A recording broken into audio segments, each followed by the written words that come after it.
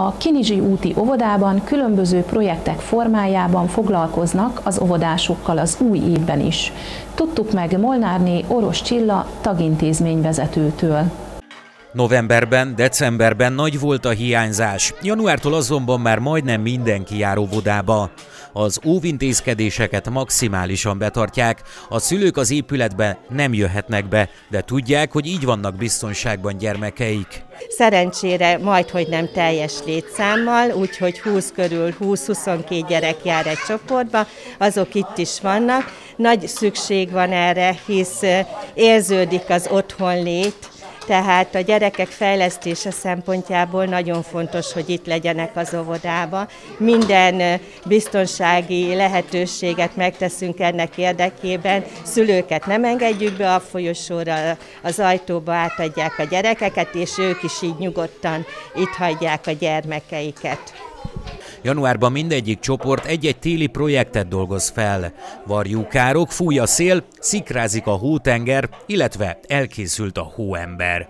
Minden rendezvényünket ugyanúgy megvalósítjuk, mint eddig, csak sajnos most a szülők kizárásával, de óvodán belül megrendezzük a rendezvényeinket. Most az év kezdéskor mindegyik csoport egy téli projektet választott, majd ahogy lehet látni a későbbiekben, itt a varjúkárok, fúj a szél a kis csoportosoknál, a nagy csoportosoknál szikrázik a hótenger, illetve elkészült a Hóember című projektben dolgoznak a kolléganők. Örülünk, hogy leesett egy kis hó, tehát így még inkább télies projektet tudunk mutatni a gyerekeknek, illetve a tevékenységeket is úgy tudjuk tervezni hozzá.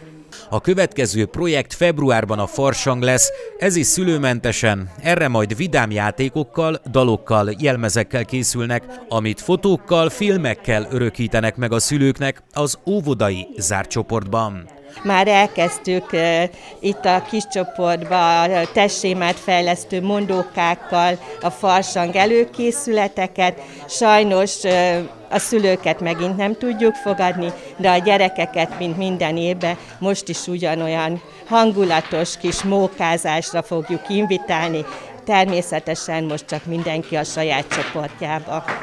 Erre versekkel készülünk, dalokkal készülünk, vidám játékokkal készülünk.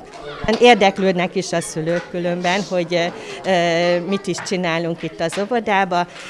Dokumentáció lesz róla, mind fénykép formájában, mind felvétel formájában, amit zárt csoporton belül meg tudunk osztani a szülőkkel, és akkor így is betekintést nyernek az óvoda életébe.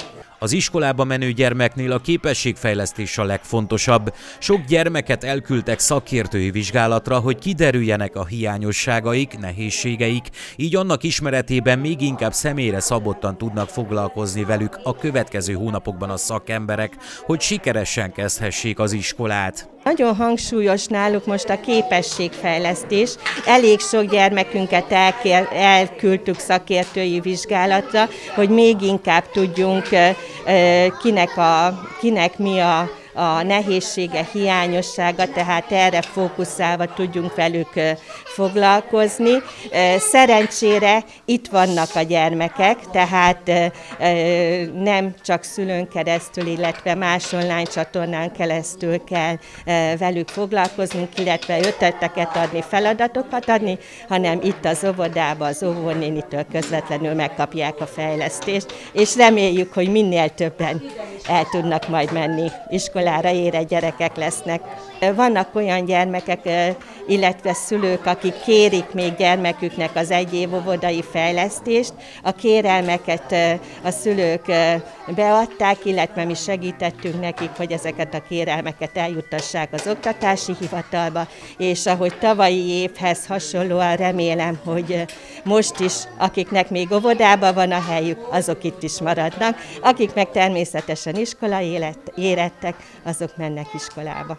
Az óvodásokkal a téli napokon is sokat vannak szabad levegőn az óvodapedagógusok, ahol udvari madár megfigyeléseket is végeznek. A tavaszi rendezvényeiket pedig már az udvaron tartják, ahová talán már a szülők is jöhetnek.